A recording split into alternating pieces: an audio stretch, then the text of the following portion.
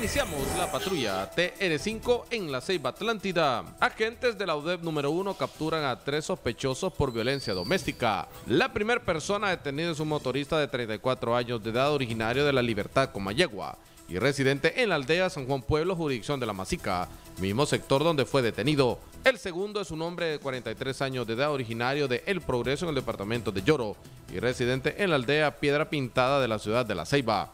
Un último y tercer detenido es un hombre de 43 años de edad, originario y residente en la colonia Sutrafco de la ciudad de La Ceiba. A los tres detenidos se les supone responsables de haber cometido violencia doméstica. Por lo anterior fueron puestos a disposición de las autoridades competentes.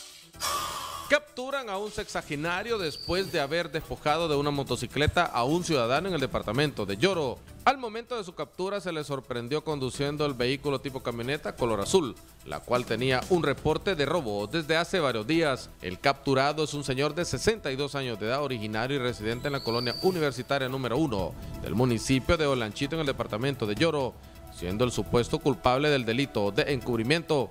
Finalmente el vehículo fue entregado a su propietario con su documentación correspondiente que lo acredita como dueño. Después de darle detención al individuo antes mencionado, fue puesto a la orden del Ministerio Público para continuar con el proceso correspondiente a ley. Integrantes de la agrupación cristiana Salmus Eternum invitan a la población en general a su concierto gratuito el próximo fin de semana en la ciudad de La Ceiba. Bueno, la noticia es que este 29 de julio, sábado, tenemos un lanzamiento gratis, es un concierto de música gratuitamente, ¿verdad? Aquí en la iglesia El Faro estaremos presentando cinco temas, ¿verdad? Del nuevo álbum de Salmos Eternum y eso sería un placer poderlos tener por ahí, ¿verdad? El sábado a las 7 de la noche. Que la gente vuelva a tener esperanza, hay esperanza y la palabra de Dios nos trae esa esperanza.